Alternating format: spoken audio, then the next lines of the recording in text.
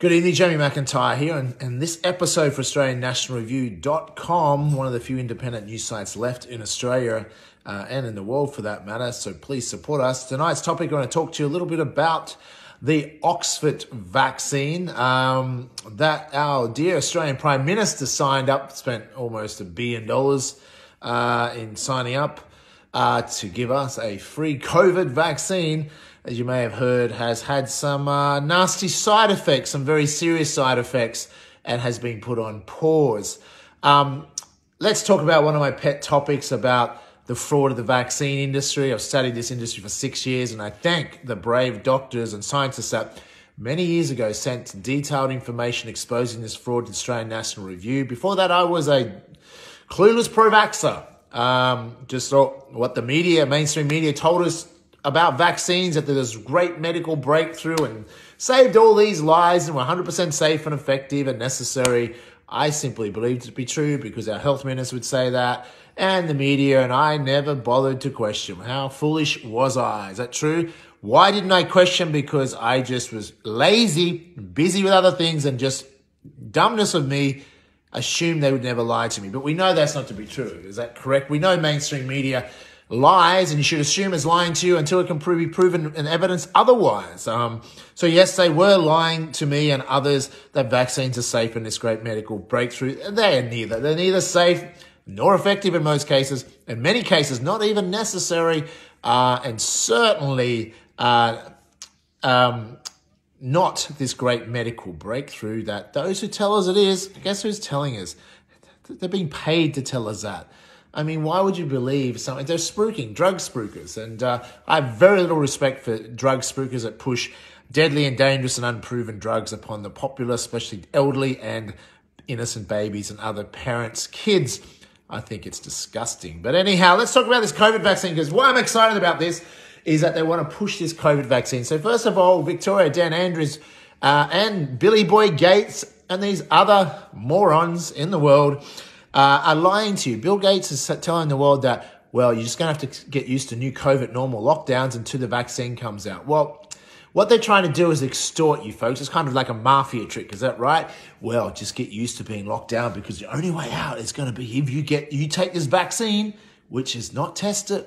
It's going to be rushed to market, and it can only get rushed to market with emergency powers. There's no alternative effective treatment. That's why we've been running studies and overdosing people with hydroxychloroquine because, and this is Bill Gates has been doing this by the way, because by overdosing and killing people hydroxychloroquine, we've been able to falsify studies to show that's dangerous because we can't have any alternative treatment because that's been a very effective treatment, very cheap. We make no money out of that. We've got to get rid of that so our vaccines can be pushed through without any proper testing under emergency powers. Did you realize that? And we want you to take it and trust us. Trust Bill Gates. Um, he's not a doctor. He's worth $105 billion. His dad was a conman and spiv with the Rockefellers. And if you don't know much about the Western medical system, folks, I dare you, I dare and challenge you to go and research the Rockefellers Institute uh, contribution to Western medicine. Mm. And then see whether you trust medical, uh, Western medicine with your entire life. Um, so, so there we have it, folks. We have a situation where they want to extort you uh, like mafia that just like the lockdowns. And Dan Andrews, well, once we have a vaccine, you're going to, you know, be let you out of your lockdowns. Well, first of all, it's a lie. It's a lie in a couple of ways. One, as soon as the vaccine comes out, they're lying to you, they're going to let you out. They never intend letting you out. They're going to keep you some level of lockdown, surveillance, new COVID normals, they call it, forever. That is their plan. It's a totalitarian, globalist, communist takeover of the world. And now you're under surveillance. They have a surveillance. Every aspect of your life will be controlled by a chip they wish to insert you. And now some people think this is a conspiracy. There's this vaccine chip that's going to be in the vaccine. They think it's a conspiracy theory.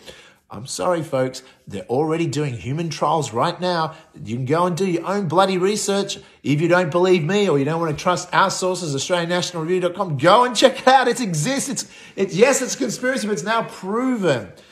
That's coming. 5G. Is 5G not coming? Of course it is. 5G a health issue? Most likely. Even if you haven't done any study. But it's all designed to control every aspect of your life because that's what communists do, you know. Um, and with technology, never been able to do it in the past, but all these new technology that's merging is now allowing a small elite handful of people that think they know best for you to control every aspect of your life. You want to live in a totalitarian future like China and have a social score and not be able to go out after 8 p.m. at night and have a curfew and not be able to go more than five kilometers from your house. Oh, wow, it sounds like Victoria. Uh, then get used to it, folks, because they are lying to you about a couple of things. They're lying to you about number one, that they're going to let you out after a vaccine for COVID. No, they're not. They're just saying that to you to lie to you. And they'll be like, well, you're going to have an annual vaccine, like the flu vaccines. They've never able to find an effective vaccine for coronaviruses for decades. So do you think they're going to find one for this? So that's number two. Is they're going to find an effective vaccine. Is number two lie? It's just not going to happen. Uh, I'll bet a million dollars as another bet. Million dollars, it's not going to happen. Simply will not find an effective, safe, COVID vaccine. There's a million dollar bet. Uh, please take it up. Now, I, mean, I used to taking doing bets because I was the first person to challenge the vaccine vaccine industry many years ago in a, in a challenge that went viral after I wrote my first book on this topic, The Great Vaccine Con, which you can download for free at AustralianNationalReview.com. Just enter your emails there as a free subscriber and you'll get a copy to that book at AustralianNationalReview.com. Uh, I'm not here to make money out of the fraud of the vaccine industry. Uh, unlike that industry is doing 59 billion in sales, and that in that book, and I've warned for people for years, they intended to bring in mandatory vaccinations by 2024 to boost their sales from 59 billion to 100 billion plus. A COVID vaccine will possibly up to 100 billion in sales on its own. Big business. That's why Bill Gates was caught boasting on TV a 20 to 1 return on his vaccine investments. Not the only reason he's doing this, folks. He's got plenty of money but it's power. He thinks he's going to save all these lives, and he's been. He learned him and Fauci learned about the vaccine scam, how to how to scam uh, and lie with statistics from the AIDS scam. You know, AIDS they did the same similar scam. Not that AIDS wasn't deadly, but to make it look like it was a really big pandemic, much worse than it was to rip off taxpayers for hundreds of billions of dollars from dumb, naive politicians and dumbass governments. Is that they just they kept expanding the definition of what what you died of to be included as AIDS. So the graph could keep going up, kind of a little bit like COVID die of anything in 2020. Oh, no, you didn't get run over by a tram in Melbourne. It was COVID, of course. And then, but of course, we now know that only 9% of the deaths in Australia, they've told us, that trustworthy media of yours has told you and the government died of COVID. Only 6% in America died of COVID. 180,000 deaths in America on COVID. No, it isn't. 9,000. Wow, that's not even as bad as a very, very, very, very mild flu season, but we can't call it a flu now, can we, Jamie? Well, you can call it a flu or common cold if you look up in the medical journals what it's listed as, but I'm sure they're updating those right as we speak. So, no, we can't call it a flu because, wow, it's not scary enough. Uh, 12% in Italy died, but that's been reassessed. National Health Institute come up with those figures. Earliest assessment of deaths, 12%, being now revised down to 1.2%. And you watch, even existing deaths are under investigations whether they really died of COVID. Not saying COVID isn't deadly. Uh, I'm suggesting the people behind it are far more deadly. Uh, the virus that comes with it, called communism, socialism, to- globalist takeover, far more deadly. Um, but I think you already know that, don't you? If you don't, um, we need you to get educated. Oh, sounds like a conspiracy theory. No. Uh, conspiracy theories, you'll find plenty of them on CNN, Channel 7 News, Channel 9 News, ABC, etc., Fairfax newspapers. Uh, and uh, they'll expect you to believe all their conspiracy theories without evidence. Uh, if you think what I'm talking about is conspiracy theories, well, let's compare it to your conspiracy theories being fed to you on the daily news, and I'll and let's see which one actually backs up with evidence. I'll put a million dollars up. That what we're talking about here is backed by evidence. What Channel Seven and CNN, etc., are talking about globalized falsified pandemic is nothing but a fraud. It's falsifying. So the Oxford vaccine. You know, here's the interesting thing. It had some adverse reactions. The vaccine industry, where Robert Kennedy is someone I look up to, Robert Kennedy Jr., the nephew of John F. Kennedy, the great president of America, um, that was assassinated by the deep state.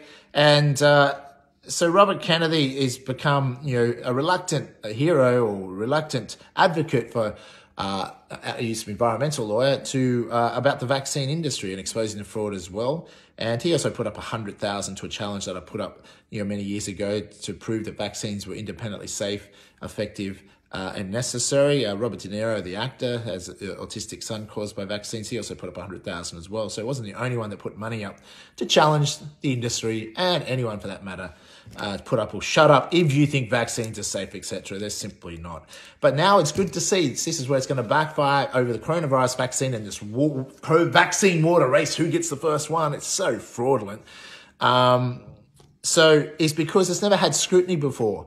So adverse reactions for that even not to be able to for them to cover that up and come out pretty serious adverse reactions, folks. These vaccines will kill more than COVID has. They'll injure more than COVID can. I mean, why would we medically intervene? Ask your politicians this. Ask your doctors this, because many doctors and uh, would have to agree with this. Why would you medically intervene with a vaccine uh, on healthy people that aren't affected by COVID, uh, that aren't going to die by COVID, aren't going to get sick by COVID? Um, to pre- supposedly protect people that the only people that can hurt COVID can hurt is people already sick and dying. And why should we blame COVID on it? Because they're dying of something else. Um, there is no reason. And why would we need a vaccine when 99.9% of people aren't affected? And why would we need a COVID vaccine when we have effective treatments already, such as hydroxychloroquine and zinc and other things? Intra, in, uh, Ivermectin, I think it is. Sorry, I can't pronounce that correctly. Another one as well. So, of course, we don't, because the vaccines, apart from being a massive profit uh, agenda and from a fraudulent industry, these vaccine cronies such as Bill Gates and who leads the show, uh, just a little bit on that. Bill Gates, you might want to check him out. Uh, do you know he said he was going to eliminate polio with vaccines? Guess what's happened? 72% of, of polio in the world today is actually caused by Billy Gates vaccines, his dodgy, fraudulent d- vaccines. Uh, many women can no longer have a child because Bill Gates and guess who got caught out. Now, this is not even conspiracy theory, this can be proven. Putting sterilizers in vaccines to deliberately prevent them having children. Bill Gates thinks he's God, playing God. How would you feel if you found out you you can never have a child? because some fucker called Bill Gates thought he had the right to remove that right from you and play God. Bill Gates is a dangerous threat to humanity. And I ask global citizens around the world, including Australia, what must we do with Bill Gates if he's a dangerous threat to humanity? Now, Bill Gates has been classified, has said that yes, vaccines can kill and injure. Well, at least you admitted that, Billy boy. Uh, but it's a small sacrifice to pay for the greater good. Here's my message I think we should send to Bill Gates. Um, I think you, Bill Gates, should be the small sacrifice to pay for the greater good of humanity. And you never know what could happen, Mr. Gates. Um, so, we don't need Bill Gates' vaccines. We don't need Bill Gates uh, being, who isn't even a doctor, being our global health minister, or running the new world, uh, the new one world order agenda through the WHO, the World Health Organization, which, if you know, a motion passed in European uh, Parliament in 2010 said the drug companies, vaccine makers have unhealthy levels of influence over. Uh, guess who? The World Health Organization. Billy Boy Gates runs and owns who? Don't believe me? Just go and check who's the largest private donor and bigger than any other country donor to who. The president of who is claims to be a doctor, is not a doctor, has been on the payroll of Billy Gates for some time. Um, just like our Victorian health minister as well. Um, probably heard that already, or maybe you wouldn't have heard on mainstream media. He failed to disclose his conflicts of interest from the Bill and Melinda Gates Foundation. And guess who Dan Andrews, dictator Dan Andrews, takes his orders from? Brett Sutton, the Victorian Health Minister, and guess who he has financial conflicts of interest with? Bill Gates, and guess who sets the guidelines around the world to medical associations and to health ministers, including in Australia, the World Health Organization, which is owned, sold, and controlled by Bill Gates. You doubt that? I've got a million dollars to challenge you. So put up or shut up if you don't believe what I'm saying. You don't have to believe what I'm saying. I'm telling you what is happening. You can go and check that out for yourself. Or you can go back and listen to the conspiracy theories fed to you by CNN, Channel 7, and others uh, around the world that wish to lie to you and tell you conspiracy theories on a day to day basis. Make sense? So, very quickly in summary, the lie that's been told to you that things will return to normal only after you take a COVID vaccine, uh, firstly, is a lie. They don't intend to letting you out of lockdowns. That's just a lie to keep it going that much longer. And two, the COVID vaccine, they'll never come an effective COVID vaccine. Did you know there had never, ever has any vaccine on the market today ever been properly safety tested? Can you believe that? That can't be true. Except it is. Show me proof of any vaccine that's had double blind, placebo, gold standard, industry standard uh, safety studies done. Hasn't happened, never been done. So there should be a moratorium on all vaccines for five years until they can all go and be properly safety tested. How many people died of the flu versus the flu vaccine? Why did they um, vaccinate all the elderly in aged care homes in Australia in Italy and in America with the four and one new flu vax just a few months before? Knowing that increases the chance of dying by coronaviruses by 36%. US defense studies show that. Also, in the uh, British Medical Journal, you can see the studies they've done on that. Um, so don't take my word for it. So why do they go and, vac- and vaccinate the elderly and the, the staff, the doctors and nurses in Australia have to be mandatory vaccinated. They're working with them and you couldn't even go and visit your elderly without being vaccinated. So I can't imagine how this would not contribute to increasing the deaths um, that they can count as coronavirus. Especially the doctors warned last year in October, November in Italy that there was a spike in deaths in the elderly uh, after they were given the 4 in 1 new flu vax. But wow, that sounds like a conspiracy. Well, if you think the vaccine industry that's fraudulent, controlled by a drug cartel medical mafia that's now running a medical tyranny around the world, that's dictating what you can, that you can't even go out of your house after 8 p.m. in Melbourne, Victoria, and other countries, and soon to be coming the door near you is the new Gestapo, then you have been misled, folks. So there you have it. The new Oxford uh, vaccine has been paused because it has adverse reactions. It's never going to be safe. None of them will be safe. There is no magic cure coming for COVID other than wake you up out of stupidity. Those who still think it's a health threat. It's not a serious health threat. Yes, we've dealt with viruses before. Yes, it can kill but uh, so does stupidity. You have one in 19.4 million chances of dying of COVID if you're in a high risk group of 50 to 64 years age group. when the latest studies come out, yet you have a one in 114 chance of dying in a car accident. So, really, folks, really. Do you, do you think these excessive lockdowns have anything really to do with the virus? You know they're not. Even if you didn't know intuitively, know that your mainstream media is lying to them. Contact all advertisers of mainstream media now if you want something to do in Australia. Demand they pull their advertising uh, because mainstream media is our enemy. They are traitors, they are uh, treasonous, and have them shift their advertising to independent media such as Australian National Review, etc. We need to compete with multi-billion dollar um, foreign funded media organizations to expose the truth. We need your help. Independent news sites need your help. We, we're not for profit. Support us, but contact those advertisers and say, if you don't pull your advertising and shift it to people speaking the truth, we will not support your product. So folks, there's many things you can do and I'm going to tell you more of them in future videos, but that is one thing you can do. Also support us, AustralianNationalReview.com. We need uh, to help you spread the word uh, and educate mass awareness and we can, can maintain and support the democracy we're rapidly losing. Democracy that Victoria has lost now. to failed fascist surveillance police state under martial law, um, under a dictatorship of Dan Andrews. Folks,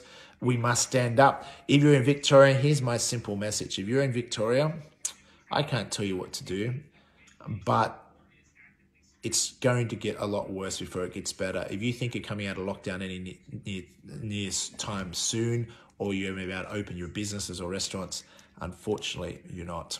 Um, if you can get out of Victoria, if I was been living in Victoria, I lived there for 15 years up until a couple of years ago, which I'm glad I got out of there. Most of my friends live in Victoria. I would be making plans to escape. Uh, there's going to be Victorian refugees escaping that failed state. And uh, if you think it's going to get better and just hang on a little bit longer, mm, unless something dramatically happens, uh, you are now living in a communist totalitarian future, which the rest of us can look forward to living under unless we fight back. Folks, I am serious. We need help. I can. You must participate in your own risk, uh, rescue business community. If you don't seriously start supporting independent media and the things that I'm supporting, Australian National Review, I don't have the resources I used to have. Uh, deep state, dodgy ASIC, and dodgy factions of mainstream media uh, stole a large amount, tens of millions of dollars assets off me and my investors five years ago because I stood up and warned people about what was coming to Australia, but not enough people listened. And I'm very good at predicting the future. If you doubt that, go and look at my track record. Uh, and I'm telling you, folks, we have a problem.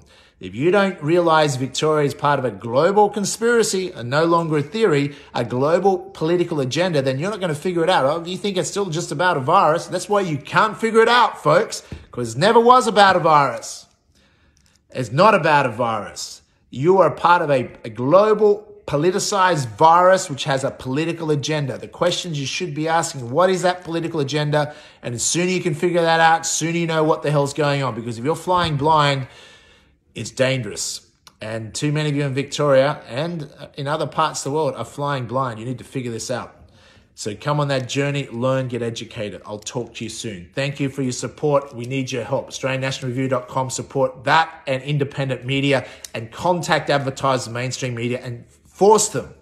Say you'll boycott their product and they don't boycott advertising on mainstream media. Talk to you soon.